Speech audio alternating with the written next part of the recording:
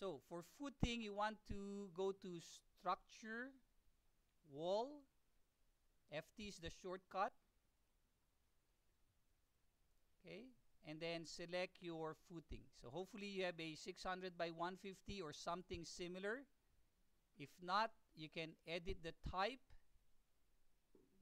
duplicate, name it, and after doing that, you need to change this to whatever name you have described your footing. So the size is 600 by 150.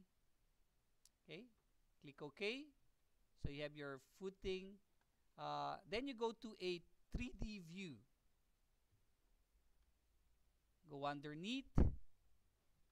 So orbit below and just select your foundation.